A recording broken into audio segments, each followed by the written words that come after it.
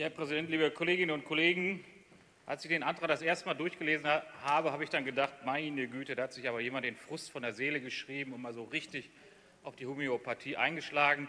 Und ich sage mal, der Kollege Preuß hat eben schon die wichtigsten fachlichen, juristischen Argumente geliefert. Auch Frau Kollegin Schneider äh, hat auch noch mal darauf hingewiesen, welche absurden ich sage mal, Unklarheiten Sie im Antrag auch noch mal lassen, was die Apothekenpflicht dann auch anbetrifft. Die allermeisten ähm, homöopathischen Mittel ähm, sind überhaupt nicht äh, für einen gezielten Einsatz vorgesehen. Das geben die ja auch vor und die anderen sind nach äh, äh, Paragraph 10 Absatz 1 des Arzneimittelgesetzes eben auch kennzeichnungspflichtig und die können dann eben entsprechend auch in der Apotheke, so wie Frau Schneider es ausgeführt hat, eben unter fachkundiger Auskunft eben genommen werden oder nicht. Sie wollen was anderes. Sie wollen den Menschen vorschreiben, dass sie eben keine homöopathischen Mittel nehmen können. Wenn eine Krankenkasse eben per Satzung entscheidet, dass sie die Kosten auch noch dafür übernimmt, dann finde ich, ist es doch das Recht einer Kasse, das so zu tun. Und dafür gibt es auch eben Gremien, die das eben noch machen.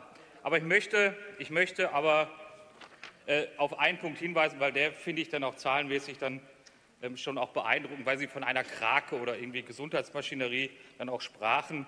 Also ein Promille der Gesamtausgaben im Bereich der Arzneimittel sind überhaupt homöopathische Mittel und von denen werden zu 98 Prozent die von den Menschen selbst übernommen. Ich weiß nicht, wo Ihr Problem liegt. Deswegen ist dieser Antrag abzulehnen.